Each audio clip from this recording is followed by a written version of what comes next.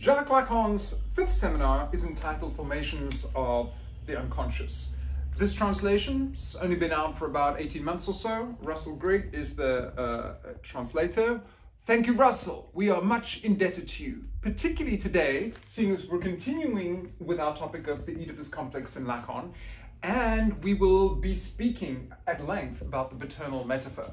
Now, for those uh, Lacan scholars out there, the paternal metaphor is the ninth chapter of this fifth seminar. It takes place on the 15th of January 1958, and then it is followed by three consecutive chapters of the three moments, um, discussing the three moments of the Oedipus complex. So to give you the dates, and Lacan is talking about this, we are talking about January, February 1958, and you can find the much more detailed, much more enigmatic uh, description of some of the material that we'll be talking about today in this text. And you will see that I try to color code my shirt and the book just to look good. Right, so let's get started. We have spent a lot of time thinking about the Oedipus complex in Lacan, and we've also spent a fair amount of time building up to this notion of the paternal metaphor. So we're going to say a couple of introductory comments, but first thing, just to get it right out there, right from the word outset, what is the paternal metaphor? Why do we need to be so complicated about this? Well, basically, going right to the, in a way, the conclusion, what it is, is it can be stated fairly simply, succinctly. What Lacan is struggling or managing to describe is simply how the psychological, psychic, and existential compass of one's life is initially that of the mother and the mother's desire, the mother's absences, the mother's other interests. What does mom want? That is eventually supplanted with, replaced by uh, the question of the name of the father. And for Lacan, this is a metaphoric uh, process, hence the idea of the paternal metaphor. So to be as simple, as basic as possible, all we are talking about is we'll use inverted commas because Lacan wouldn't like it, but the developmental period through which that substitution takes place.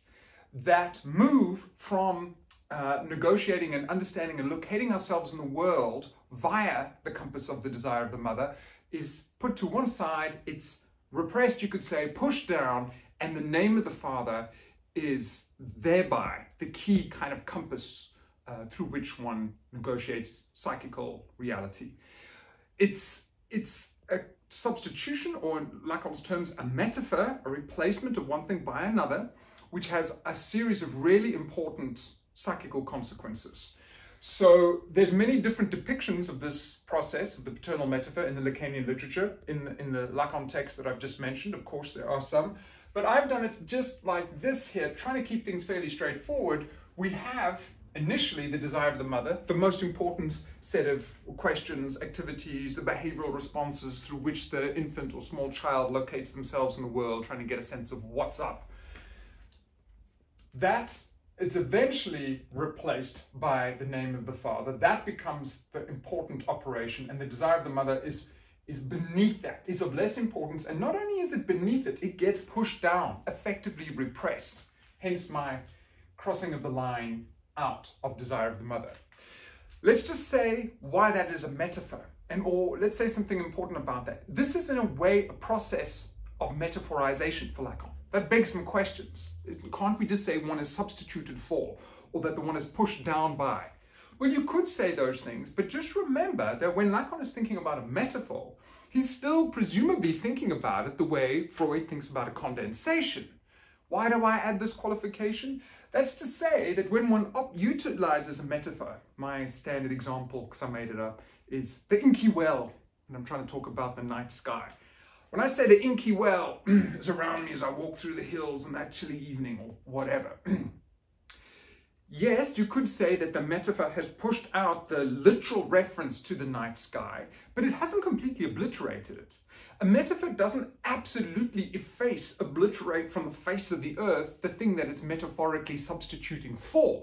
That thing retains some presence. It retains maybe a, a, a suppressed or pushed down, maybe a kind of ghostly presence. It's still there. Remember, condensation for Freud means that there's a kind of overlap. It's overwritten it gets pushed down. It's still present in a way. And that I think is still going to be true of the desire of the mother.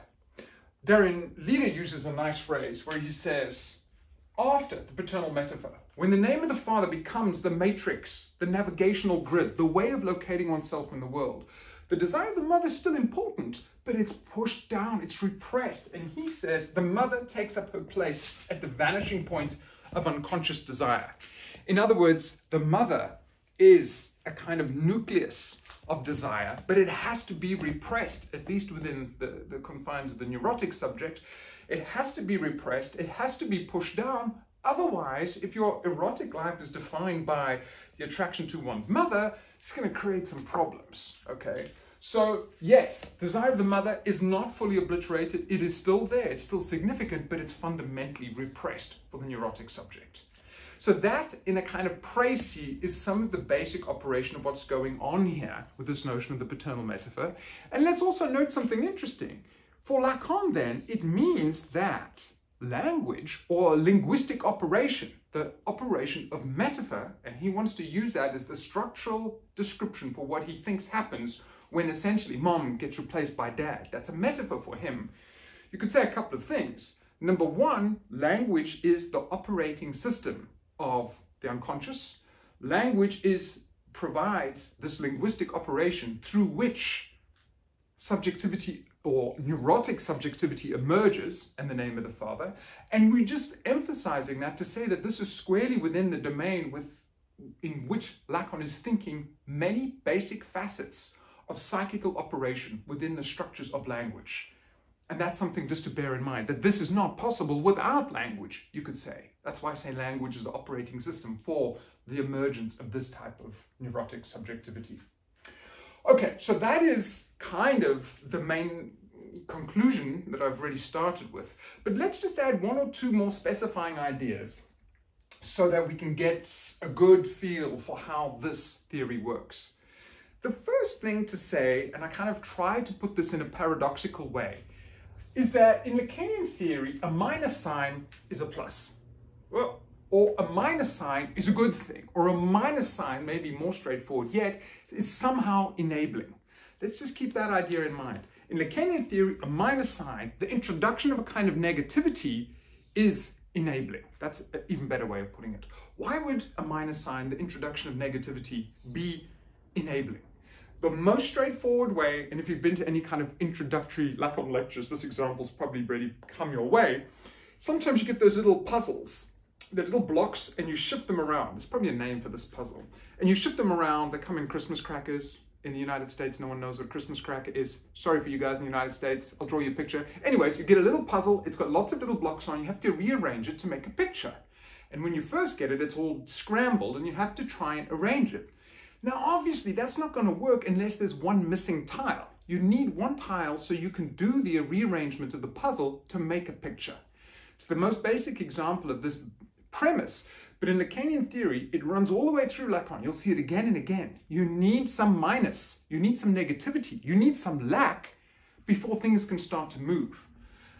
This is going to be true too, because when we move down my very packed but beautifully prepared chalkboard, and we start to look at point number five, mother is minus sign, we will get this idea that with the paternal metaphor, the kind of suppression, and repression of the desire of the mother, there is an introduction of lack, an introduction of a negativity into the life of the subject.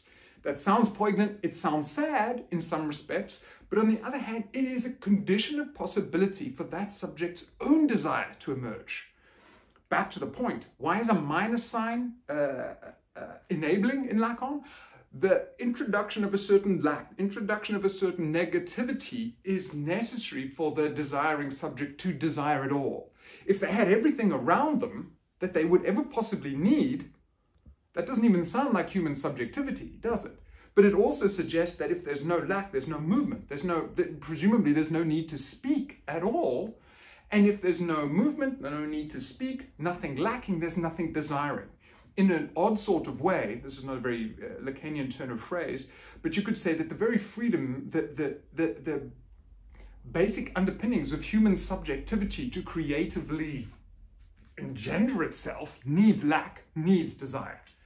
One brief further example of that, just to, to underline this emblem, this, this uh, motif which comes back again and again in Lacanian theory. Often people have heard this kind of uh, puzzling paradox where Lacan talks about anxiety as the lack of a lack. And you're like, dude, whoa, you know, enough with the double negatives and everything. What do you mean, the lack of a lack? One way of thinking about the lack of the lack is that the lack is necessary. It's the air you breathe. The, the air, the, without lack, there can be no desire. So the lack of the lack, in a way, is one shorthand way that he would approach the notion of anxiety because it's a kind of suffocating presence where there isn't the space for a lack with which I can breathe, with which I can desire. So that's a kind of lengthy preamble, but partly what we want to say there is two things. The paternal metaphor will mean that once the desire of the mother is no longer the crucial coordinating focus of one's life, there will be the introduction of a negativity. And that introduction of a negativity is, to risk a paradox, positive or enabling, because it means that the subject can start to desire. Let's move on to point two then. there are many reasons you could say that Lacanian theory amounts to a very concerted, focused, I think intelligent dialogue with the Freudian theory that's gone before it. And one of the important elements here, I think, is that often in certain readings of Freud and Freud's account of the Oedipus complex, one gets a sense that the way, particularly the boy child, is kind of moved through the Oedipus complex, is pushed through the Oedipus complex, is because of this fear of castration. We've spoken about this already. Often this seems to be overly literalized, um, but this this is uh, the imposition of law. The, the threat of castration is what kind of pushes the boy child in Freudian terms to, to resolve Oedipus because there's something threatening, something, some castration threat that's all too awful to consider. By the time we start to use the Lacanian terminology, it's no longer simply uh, kind of father law, whatever, although there is that as well, castration threat. We've got two crucial mechanisms. We've got both this phallus, which is the signifier of desire, signifier of lack, and we've got the name of the father, the name of the father, which indeed is the imposition of the law, but it too remains enabling because it provides a naming for the subject, a location for the subject, a situation for the subject. So what I'm saying is I think we have a little more complexity here. We've got two concepts. We've got more machinery in place to try and understand this process, which is not simply um, is not simply the negative motivation of castration. So as I put it here, we need to keep in mind the name of the father always alongside the phallus. In Freud, it feels often that we've only got that motivation of castration to bring the Oedipus complex to a close. In Lacan, it's both the imposition of the law through the name of the father, and once this phallus, this signifier of desire, this signifier of lack is properly operating, then we have the space for our own desire to operate, the opening up of our own desire.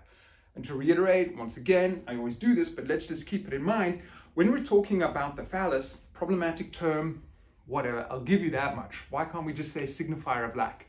Let's keep that in mind. It's the signifier of lack stroke desire. A phallic signifier then presumably is a signifier, okay, a word, uh, whatever, that indicates something that's desirable or indeed something that's lacking. And if we get that right, thinking about the phallic signifier or the signifier of lack in those terms, then I think we can start to appreciate why it's important within an understanding of human psychical life. It's not about penises everywhere. Oh, no, too many penises.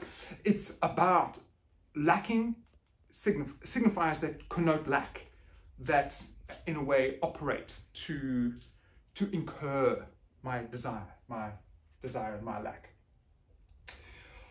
Let's then bring this mini lecture to a conclusion and just say that we can highlight two enabling facets of the paternal metaphor. The paternal metaphor is enabling in at least two fundamental ways. I'm relying somewhat here, and we'll give a nice quote to Stijn Vanheule in the follow-up lecture. I'm relying on this book of his, which I've recommended already more than once actually, The Subject of Psychosis, uh, a Lacanian Perspective. Stijn Vanheule publishes it in 2011, great book. Uh, and we will turn to a, a lengthier quote from him, but just let's quickly make that point. Of the two huge moves forward, of the, the, the two enabling gains of this paternal metaphor. The first is which is that the desire of the mother, although it is uh, what I call a compass point or a kind of navigational set of coordinates with which to locate myself, the desire of the mother is always somewhat murky when one is dealing with this kind of imaginary uh, dynamics of what does the mother want, how can I encapsulate what she wants, how can I do the Jerry Maguire thing of trying to be everything for her.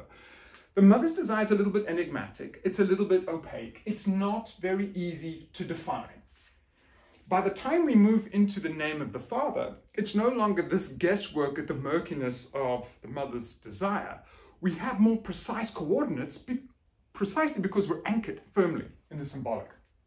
So not only does the paternal metaphor mean that the desire of the mother is, is we've moved away from that murky, enigmatic desire of the mother, but it also means that that previous attempt to be everything for the mother, you could argue this is not only hopeless, but it's exhausting.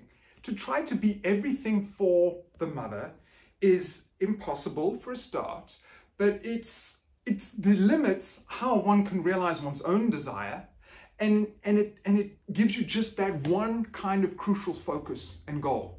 It's impossible, it's exhausting, and, and it's limiting.